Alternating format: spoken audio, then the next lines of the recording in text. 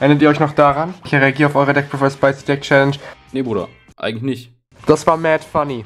Wie wär's mit mehr davon? Ja, da bin ich schon dabei. Da zeige ich mal mein Deckprofile, was ich hier rausgehauen habe. Aber wenn ihr jetzt denkt, dass diese tolle, nette Mütze von Ultimate Guard gesponsert wurde, dann habt ihr recht. Dann zeige ich euch mal, wie ihr niemals wieder ein Duell verlieren könnt. Und das ist ganz, ganz einfach. So, zuerst einmal die Matte. Ihr könnt natürlich eine ganz normale Konami-Matte spielen, aber ey, die Karte heißt Top des Wohlstands und damit zeigt ihr einfach, dass ihr richer seid als die anderen. Das ist schon mal ein guter Indikator, damit ihr auf jeden Fall gewinnt. Was ich auf jeden Fall immer spiele, ist die gute Deckbox. Aber die Deckbox ist halt null. Und deshalb gibt es das Upgrade. Und deshalb gibt es das Upgrade, das sieht einmal so aus.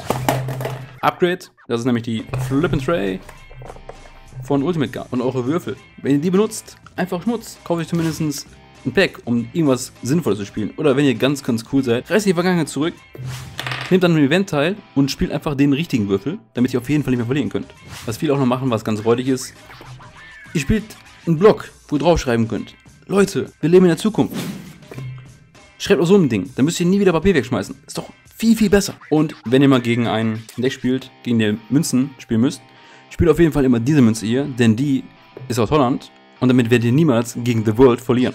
Und wenn der Gegner euch das nicht glaubt, dann glaubt ihm einfach nicht. George! Dann kommen wir zum wichtigen Teil, nämlich den Field Centern. Ihr habt verschiedene Choices, was für Field Center ihr spielen könnt, aber es ist ganz, ganz wichtig, dass ihr ein professionelles Field Center habt, damit jeder weiß, wer ihr seid. Eins, worüber ihr nicht reden wollt. Die drei Götter, damit die Leute denken, oh, ihr seid richtig Fan. Und so halt Anime-Fokus, ob ihr ein voll Competitive Spieler seid. Dann spielt ihr zweimal Olibaba, weil Olibaba einfach broken ist, deshalb spielt ihr zweimal. Dann das eine Nibiru-Token, denn wenn ihr den einmal gespielt habt, wird euer Gegner euch nie wieder Nibiru denn der Nibiru wird er nicht mehr kommen, denn er hat so Angst vor der Cuteness von dem Ding hier, dass er niemals durch Nibiru wird, denn das kann gar nicht passieren. Und dann werdet ihr mit dem Deck auch nicht gegen Nibiru verlieren, denn das wird dann niemals mehr passieren. natürlich, weil ihr Duellanten seid, braucht natürlich eine Einleitung zu könnt ihr Duellanten, sonst könnt ihr einfach gar nicht mitspielen. Aber dann kommen wir jetzt zu dem Deck, wozu ihr heute da seid. Da spielen wir dreimal den Flamm Buffalo, weil es einfach der beste Starter ist. Die Karte ist ganz nice. Und weil es ein Salamangre-Deck ist, spielen wir dreimal den Parallel Exceed Dragon, weil wir alle Karten auf drei spielen, außer die Salamangre-Monster. dass die actually guten Karten sind. Und dann spielen wir noch zweimal Lady Debug, damit jeder uns fragen kann, wo ist der dritte Lady Debug. Dann spielen wir nach der Bandlist zwei Fuxi und zwei Spinny, weil wir jetzt halt Level 3 Access haben zu Rang 3, wir mit denen mehrere Stelle machen können. Und natürlich die eine Lonely Gazelle, das ist die beste Karte, das ist auch über allen anderen, weil es einfach eine gute Karte ist. Jetzt kommen wir zum nächsten Teil, denn das Deck könnte eigentlich auch One-Off-Pile heißen. Denn wir spielen einen Jaguar, einen Falco, einen Federvieh, das sind unsere letzten Salamangel-Monster. Die machen nicht wirklich viel. Der macht Piercing Damage, by the way, nur so als Fun Fact. Die Karte kann übrigens kein Link-Monster bouncen, das wäre sehr dumm, weil es fehlt ein Monster und ihr habt kein Monster am Feld. Ganz dumm. Die Karte ist eigentlich nur dafür da, um halt ein Monster zu sein.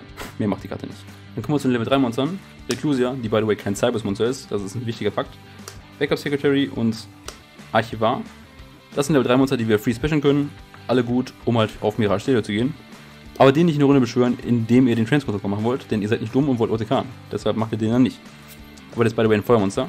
So, und wir können natürlich Handtrap spielen. Da spielen wir natürlich dreimal Ash, weil beste Karte. Zweimal Baylor, weil ihr keinen Platz mehr habt, weil wir 40 Karten spielen wollen und das ist halt eine gute Ratio.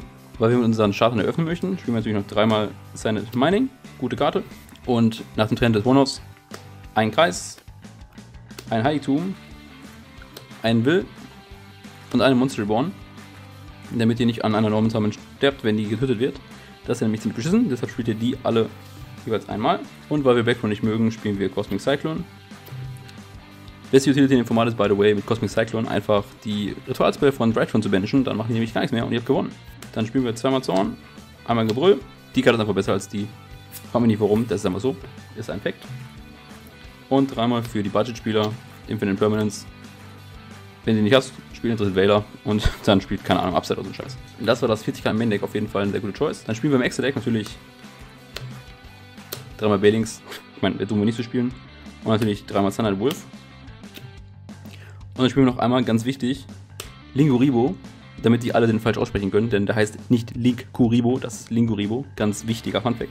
Dann spielen wir OTK-Kombo, Schwallmagier, Update Jammer, Transcode und Access Code.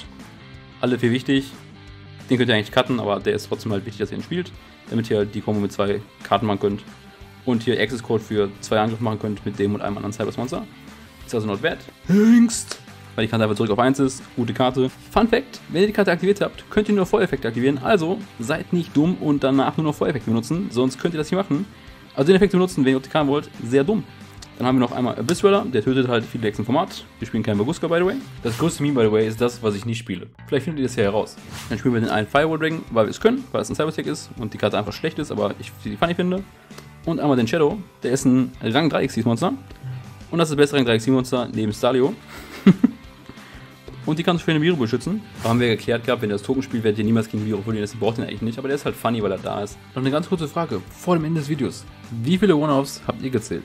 Gute Frage, ne? Ich sag's euch hin. 3, 2, 1. 12. So, ein bisschen serious. Das Deck ist eigentlich ziemlich cool. Ich hoffe, Gurk hat ein bisschen Spaß bei dem Video. Und das natürlich dem Video, was ihr jetzt hier gerade seht. Ob das jetzt meins ist oder Gurks Video, vollkommen egal. Und auf jeden Fall mal ein Like da lassen für den geilen Content, den ihr gerade hier seht. Bis zum nächsten Mal rein. Ciao, Leute. Ganz, ganz, ganz, ganz geiles Ding, wirklich.